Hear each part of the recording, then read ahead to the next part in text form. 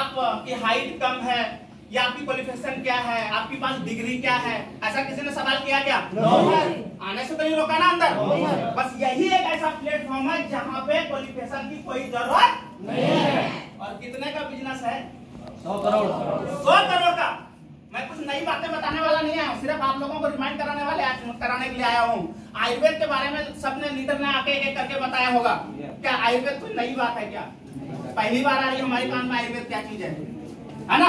तो हम क्या कर रहे हैं? जैसे कि बाबा रामदेव जी आज योगा नहीं बनाए उन्होंने योगा को प्रमोट किया।